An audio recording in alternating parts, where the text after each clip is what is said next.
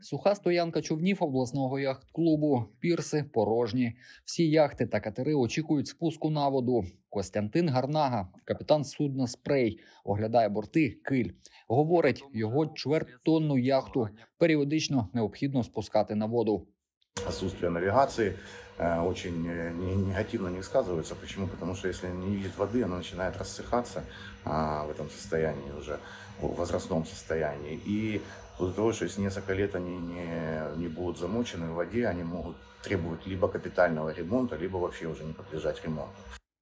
На території яхт-клубу базується трохи більше 30 яхт. Є металеві, пластикові. Відсутність води найбільше впливає на дерев'яні.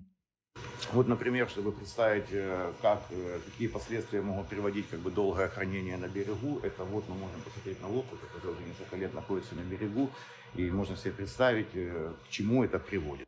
Спустити човни, які цього потребують на воду, проблеми немає, говорить директор обласного яхт-клубу Олег Стефановський. Крани, якими приводнюють човни, справні. Матеріально-технічна база готова, але виходити на акваторію зась. Навіть на умовно огородженому водному квадраті, де зазвичай займались юні яхтсмени. Зараз під вітрила ставати не можна. Це взагалі йдеться про зовсім малі, малі частини території води, які огороджені у нас пірсами.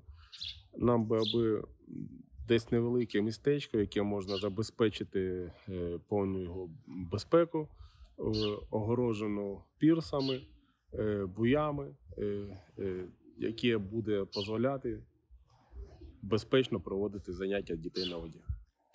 Одна з миколаївських верфей навалу російських окупантів відчула ще з анексії Криму. Із закриттям міських акваторій умови праці стали жорсткішими.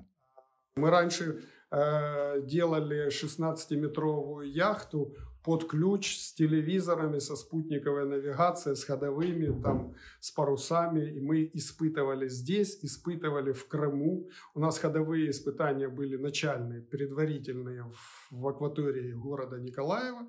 И потом с выходом в Крым, в Черное море. На сегодняшний момент вот у нас есть э, такая необходимость достройки катеров 10-12 метров, э, но мы не можем ни на воду выйти, ни, вот, не сброситься, даже на воду не имеем права спустить и там хотя бы кренование какое-то сделать.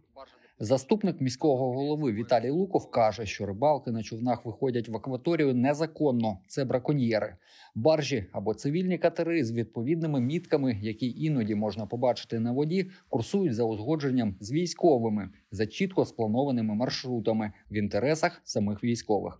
Олександр Воронцов на своєму прогулянковому катері, який зараз на ремонті, на початку повномасштабного вторгнення евакуйовував яхти з інших яхт-клубів та ніс спільне з військовими чергування.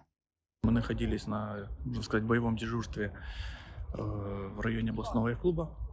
Были готовы, не дай бог, э, к взрывам мостов и для эвакуации мирного населения, раненых э, и также для перевозки гуманитарных грузов. З водою, так як і з лісосмугами, і взагалі прифронтовою колишньою територією, е, саме громади, території громади міста Миколаєва, е, все дуже, е, як кажуть, сумно, оскільки залишається велика небезпека спрацювання вибухових пристроїв, пристроїв, ті, які не вибухнули під час бомбардувань міста Миколаєва.